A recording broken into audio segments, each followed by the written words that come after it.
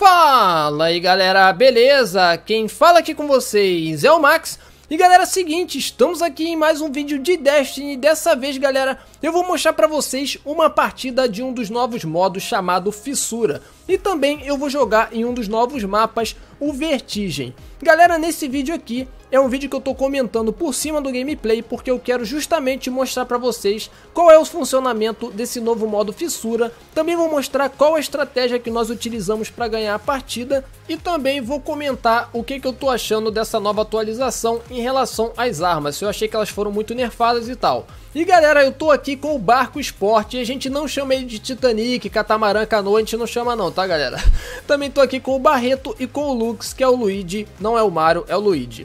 Mas então galera, olha só, esse modo fissura ele funciona basicamente como modo captura bandeira, no qual a gente tem que coletar uma coisa lá que eles chamam de centelha, vocês vão entender melhor isso quando vocês verem no vídeo. A gente tem que coletar a centelha e levar até a fissura, que é como se fosse a base adversária. No entanto, essa fissura ela pode spawnar, ela aparece em várias partes do mapa e tem uma contagem até que a gente possa pegar essa fissura e levar até o mapa adversário.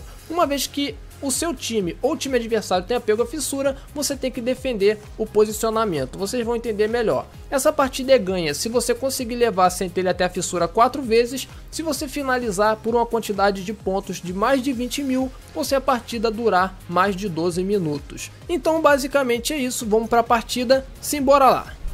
Bora chegando aqui em um dos novos mapas, o Vertigem, um mapa bem legal. Bora, Load. Isso. Fica bem perto do sol, hein, galera. Fica bem perto do sol, deve ser um lugar bem quente. A apresentação do mapa bem interessante, o local que ele fica é bem legal também. Vamos ver quem tá segurando a marreta. Opa, não sou eu, beleza.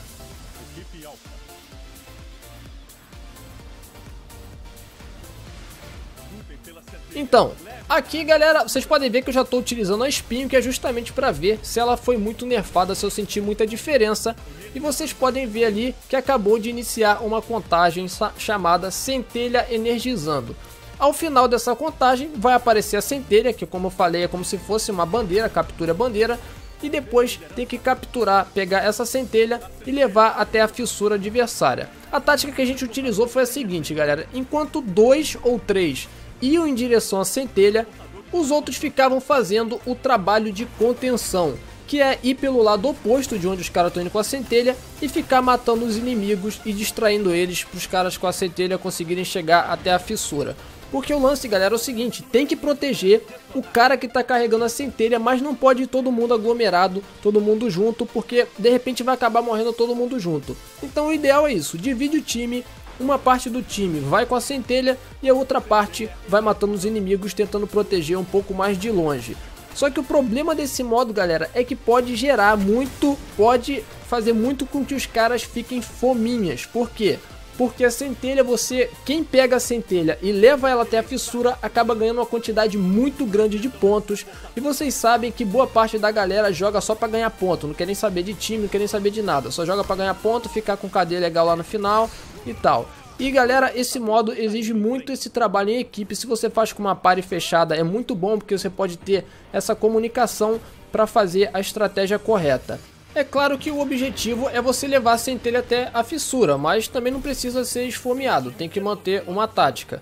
E aí galera, em relação às armas é o seguinte, eu achei que as shotguns iriam mudar muito mais do que elas mudaram, elas ainda estão extremamente apelonas no Crisol, a, a distância delas foi encurtada e também a efetividade a média distância foi encurtada, assim, ela funciona mais é, de perto. Mas mesmo assim eu morri diversas vezes em outras partidas tomando tiro de shotgun a uma distância absurda. Eu não sei se é questão de lag ou se realmente está assim, mas eu morri várias vezes com tiros de shotgun a distâncias que uma escopeta não mataria normalmente.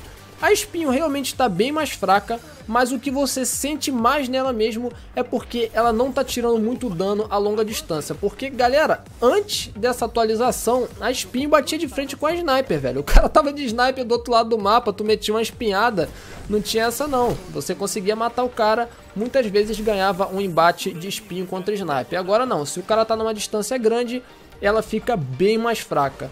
A média e curta distância ela continua boa, o veneno também enfraqueceu bastante, a gente pode, vocês estão vendo aí pelas imagens, o veneno enfraqueceu bastante, mas no geral ainda é uma arma boa.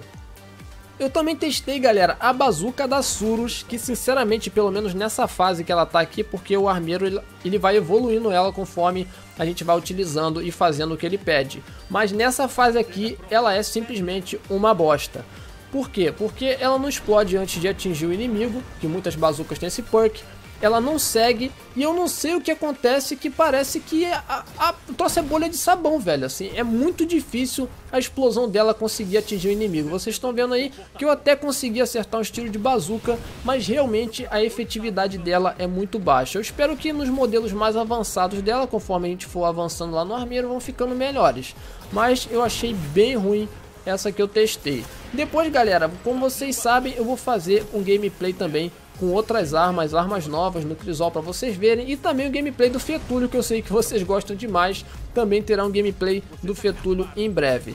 E aí, galera, a gente já está quase ganhando a partida, porque, como eu falei, se a gente levar quatro vezes a centelha, já, já levamos, foi rápido, a parada foi rápida.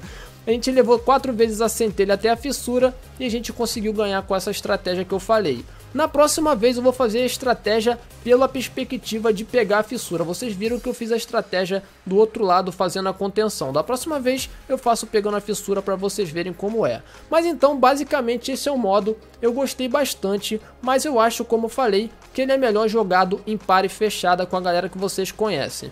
Mas então é isso aí, galera. Espero que vocês tenham gostado do vídeo. Muito obrigado por vocês terem assistido. Não se esqueçam de se inscrever no canal, deixar o seu comentário, aquele like para dar uma fortalecida. E até a próxima aí, galera. Valeu!